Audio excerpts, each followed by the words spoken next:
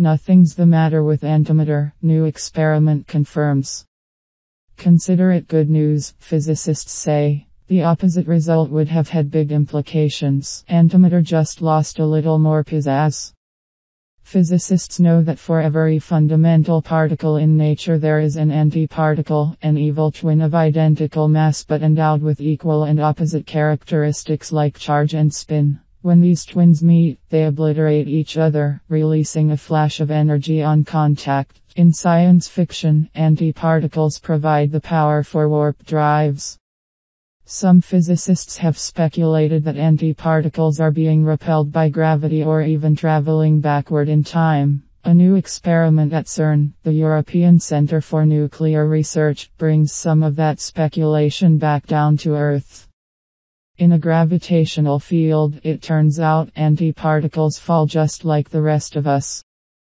The bottom line is that there's no free lunch and we are not going to be able to levitate using antimatter said Joel Fajans of the University of California, Berkeley, DR. Fajans was part of an international team known as ALPHA, the Anti-Hydrogen Laser Physics Apparatus Collaboration, which is based at CERN and led by Jeffrey Hangst, a particle physicist at Aarhus University in Denmark.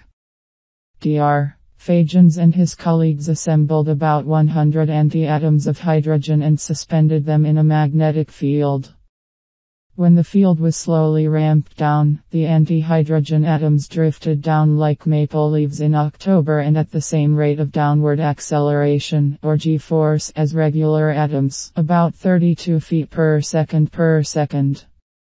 They published their result on Wednesday in the journal Nature. Few physicists were surprised by the result. According to Einstein's theory of general relativity, all forms of matter and energy respond equally to gravity. If you walk down the halls of this department and ask the physicists, they would all say that this result is not the least bit surprising. Jonathan Wurtele, a physicist at the University of California, Berkeley, said in an announcement issued by the university. It was he who first suggested the experiment to Dr. Fajans a decade ago. That's the reality Dr. Wurtele said. But most of them will also say that the experiment had to be done because you never can be sure he added. The opposite result would have had big implications. The looking glass world. In 1928, in one of the most astonishing examples of nature following math, the physicist Paul Dirac found that a quantum mechanical equation describing the electron had two solutions. In one, the electron was negatively charged. This particle is the workhorse of chemistry and electricity. In the other solution, the particle was positively charged. What was that particle?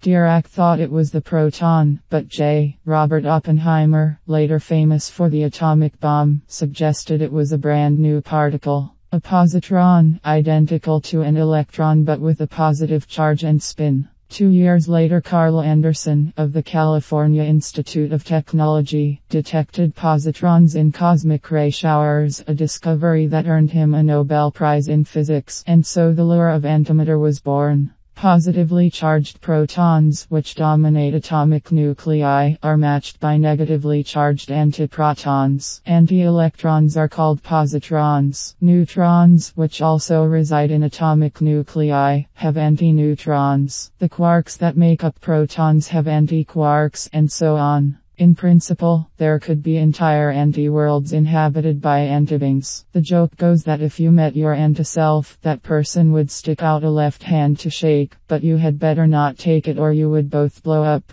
For scientists, the thrill of antimatter is not simply in adding to a list of weirdly named particles. To them, studying anti-hydrogen atoms is the first step toward testing some of the deepest hypotheses about nature, which hold that antimatter should look and behave identically to ordinary matter. For the last 20 years, scientists from the Alpha Group have been collecting antimatter at CERN, siphoning high energy antiprotons from collisions in the Large Hadron Collider and slowing them from the speed of light to speeds of a few hundred feet per second and a temperature of about 15 degrees above absolute zero. The antiprotons are then mixed with a cloud of anti-electrons or positrons produced by the decay of radioactive sodium in a so-called mixing trap controlled by electrical fields. Normal hydrogen, the simplest and most abundant element in the universe, consists of a positively charged proton attended by a negatively charged electron.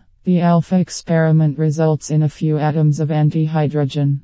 The nucleus is an antiproton, and a positron circles it. In 2002 Dr. Hangst reported that these antihydrogen atoms emitted and absorbed light at the same frequencies and wavelengths as regular hydrogen, just as Einstein would have predicted. Since then, many experiments, all indirect, have strongly suggested that antimatter also gravitates normally, Dr. Fajans said. But those experiments have not been conclusive because gravity is less than one trillionth as strong as the electromagnetic fields used to manipulate the anti-atoms. Anti-messages in a bottle. In the latest experiment, the anti-hydrogen atoms were confined by a magnetic field inside a 10-inch long metal container. Since, like hydrogen, anti-hydrogen atoms carry a slight magnetic field of their own, they bounce off the walls of this bottle. The magnetic fields can also be tuned to counter gravity and suspend the anti-hydrogen atoms in the bottle. In the experiment, when the fields were slowly ramped down, the atoms eventually escaped the field and annihilated themselves in a flash on the walls of the chamber. About 80% of these flashes occurred below the chamber, according to statistical analyses. This suggests that gravity typically acts to pull anti-atoms downward, just as it would with normal matter. Any violation of the expected symmetry between hydrogen and antihydrogen would have rocked physics to its core. That did not happen, Dr. Wurtele said. This experiment is the first time that a direct measurement of the force of gravity on neutral antimatter has been made, he said. It's another step in developing the field of neutral antimatter science, but the result leaves hanging another puzzle. According to relativity and to quantum mechanics, the two quarreling theories that rule the universe, the Big Bang should have created equal amounts of matter and antimatter, which should have annihilated each other long ago. Yet our universe is all matter, with nary a speck of antimatter to be found outside of cosmic ray showers and particle collider collisions. So what happened?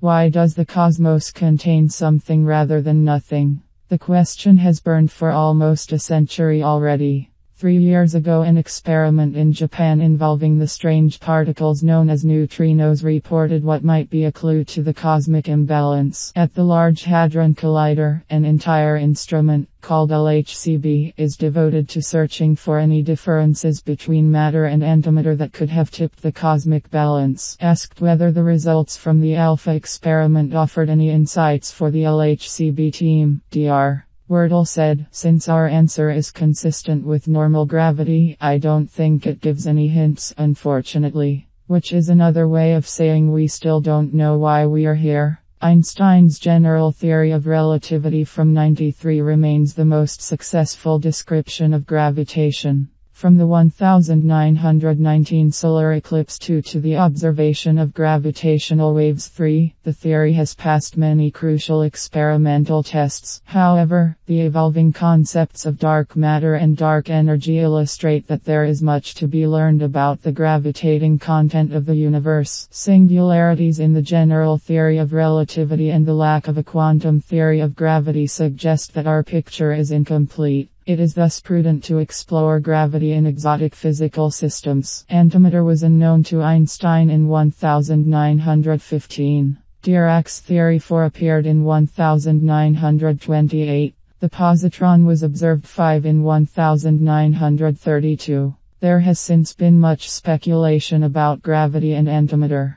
The theoretical consensus is that any laboratory mass must be attracted 6 by the Earth, although some authors have considered the cosmological consequences if antimatter should be repelled by matter 7, 8, 9, 10. In the general theory of relativity, the weak equivalence principle, WEP, requires that all masses react identically to gravity, independent of their internal structure. Here we show that antihydrogen atoms released from magnetic confinement in the alpha G apparatus behave in a way consistent with gravitational attraction to the Earth. Repulsive antigravity is ruled out in this case. This experiment paves the way for precision studies of the magnitude of the gravitational acceleration between anti-atoms and the Earth to test the WEP. Main the weak equivalence principle, WEP, has recently been tested for matter in Earth's orbit 153 with a precision of order 1015. Antimatter has hitherto resisted direct ballistic tests of the WEP due to the lack of a stable, electrically neutral, test particle.